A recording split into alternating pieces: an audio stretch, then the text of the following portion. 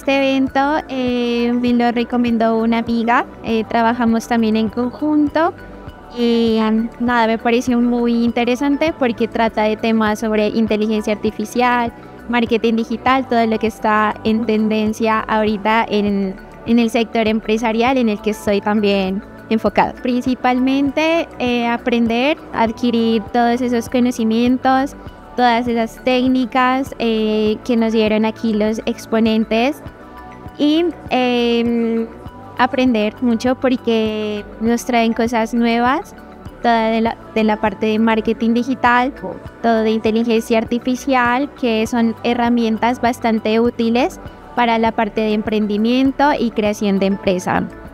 Lo que más nos ha, gustado de este encuentro aquí en la Cámara de Comercio de Ipiales es que nos estamos empapando sobre el tema de, inteligencia artificial y que son, digamos, una gran, unas grandes herramientas que las encontramos y las podemos aprovechar para eh, que nuestras empresas eh, mejoren cada día más en cuanto al tema de comercialización, producción y demás.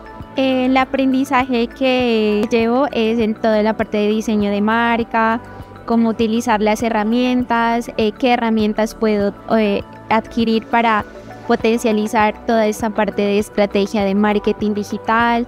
El aporte que hace la inteligencia artificial a, la empresa es, enorme, ¿no? Eh, el tema de comercialización principalmente, uno puede utilizar estas herramientas para el diseño de estrategias de marketing para llegar al público o a los consumidores específicos, eh, trazando unas buenas estrategias. De las herramientas que se, se, han explorado el día de hoy, eh, yo creo que ChatGPT, Canva y, generadoras de imágenes son importantísimas que si las utilizamos bien a nuestro favor van a ser de gran utilidad para, para las empresas. Fue un día supremamente cargado de ideas, de aprendizajes, de cosas bonitas. Sin duda la inteligencia artificial vino para quedarse piales y seguro les va a servir muchísimo para ser mucho más productivos. Eh, primero agradecer a Parques Nariño. Tienen un proyecto bastante interesante, muy bueno para Nariño, para la ciudad de Ipiales, que de verdad sí lo necesita. Aquí en la ciudad eh, tiene muchos emprendedores, muchas personas jóvenes que queremos salir adelante, que tenemos muchas ideas de negocio. Entonces eh, es muy bueno que vengan con estos proyectos y también invitarlos para que también participen de todo esto.